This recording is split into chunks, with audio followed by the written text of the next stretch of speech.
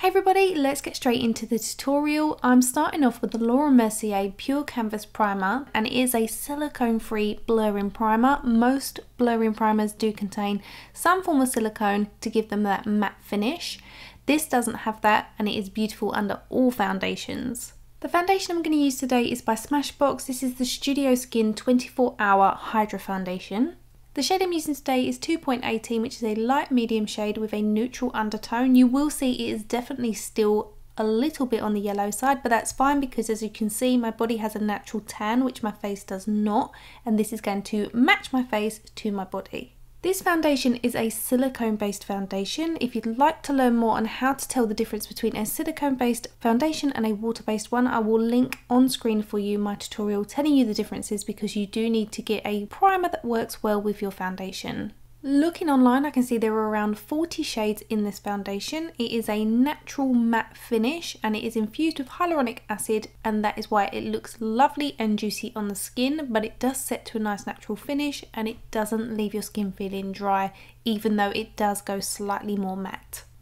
Now we're moving on to concealer. This one is the Faux Filter Concealer by Huda Beauty. This is the biggest surprise to me. I really didn't think I was going to like it. A lot of the previous ones I've used were quite drying on my skin. However, this was beautifully lightweight. It really was kind of luminous, even though it's a matte finish. It dries down, but it isn't drying. You'll see when I do the close-up shots of my eyes later, the actual skin and everything looks really nice with this concealer and it goes so well with the foundation.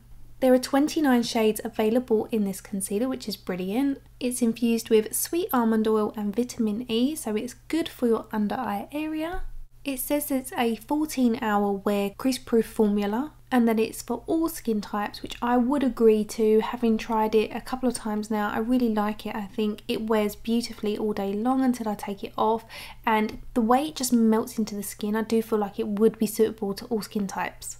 So I'm just using my Urban Decay brow blade to do my eyebrows off camera and then I'm using a brush to go in and spot conceal any little areas that need an extra bit of coverage.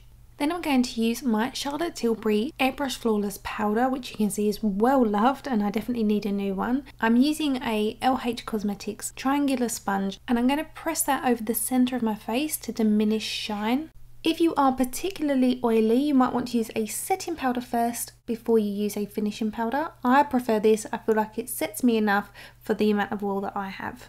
Now I want to bronze up the skin. I have been absolutely loving my NARS Laguna bronzer. I forget how much I like this and I've decided to take a little break from my Bare Minerals one to change it up a little bit and I'm using my Rephr number 22 brush because it's absolutely huge which makes bronzing the skin a dream. It's super quick and easy to do.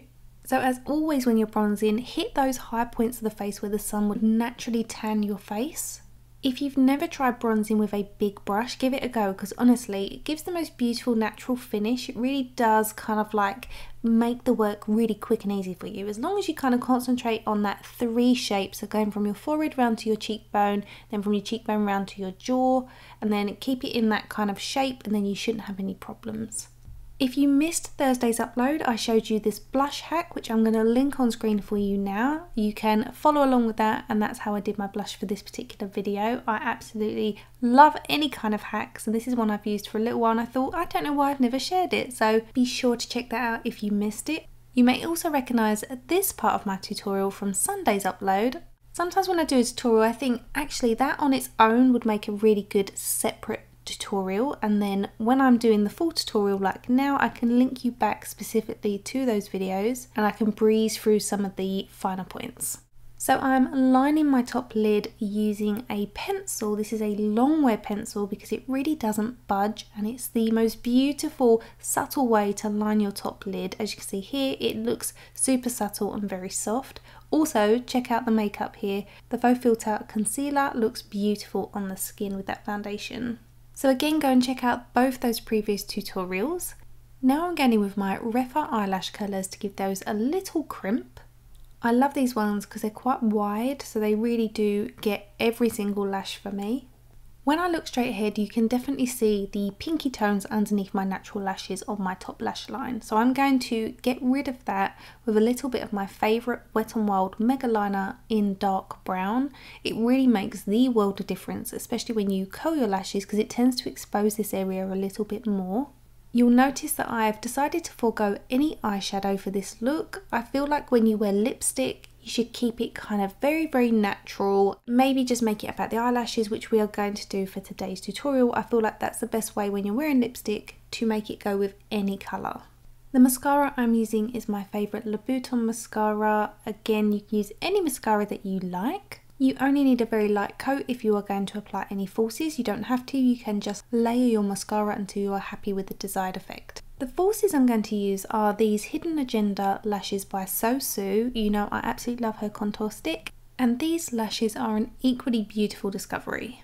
Now these lashes do come with a glue that you can use and they will last for around 3 to 4 days with maintenance. In this packet you get 3 different lash lengths, you get 10mm, 12mm and 14mm and you would get around two to three sets out of these. It just depends on the length of your eyes and how much of them you tend to use because some people don't take them all the way to the inner corner, therefore you would probably get another set out of them. My plan was to remove these eyelashes after filming so I've used duo glue rather than the glue that comes with it. And as these eyelashes are slightly heavier than the lash base ones, the actual band is a little bit thicker. They are still comfortable to wear, but they're a little bit heavier. So you do need to allow your duo glue to go a little bit tacky, otherwise they will fall down. If you want a full talk through on how to use ribbon lashes and a discount code, I will link it on screen for you now. I filmed a tutorial just recently.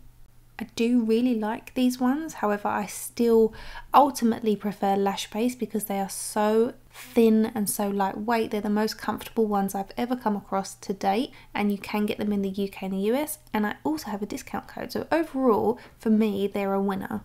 So I'm just placing the last one on the outer edge and then I'm going to apply some mascara on my lower eyelashes. I don't often wear mascara on my lower eyelashes anymore and in particular because I'm going to be applying some lipsticks with this look I'm going to apply the mascara and then use a lash comb. The one I'm using is by Tweezerman just to remove the majority of that mascara off my lower eyelashes. So it's there but it's a lot more subtle. So this is my daytime appropriate makeup that you can wear with any lipsticks and I chose to film this because I was doing a job for this company here called Mii Cosmetics and I shared their lipsticks over on my Instagram. That was a paid for sponsorship. Here on YouTube is not, but I still wanted to share them with you because I thought they were so beautiful. It also gives me a chance to share my discount code with you guys because if you don't follow me on Instagram then you will miss out on the discount codes.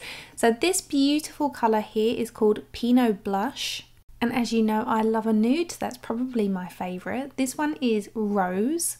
And I should say all of these formulas are infused with avocado and mango oil, so they literally go on like silk. Then we have the shade Cognac, which is another favourite of mine. I was honestly surprised about how much I love these colours. I only ever take on sponsorships for brands that I get to try first, and I absolutely loved these. This shade is called Cassis. So this is their red shade because there's only five shades in this particular collection, which is part of their Click and Colour lip crayon lipsticks. And then this shade is called Merlot, which is the shade I'm using in my thumbnail. It's kind of like a raspberry Merlot shade, definitely more raspberry in the flesh, which I really, really love. So as you can see, this makeup pairs beautifully with all of the shades, which means this kind of makeup will look beautiful with any lipstick shade you have at home. Don't forget if you do want to take advantage of the discount code with me, you are most welcome to. Please remember that this is not sponsored. The sponsored content was over on Instagram, so I've shared this because I genuinely wanted to. Let me know what you thought of the tutorial over in the comment section. Would you try this to wear lipsticks of your own? Please give the tutorial a thumbs up if you did enjoy it. Come follow me outside of YouTube over on Instagram and I will see you Thursday with another video. Bye guys!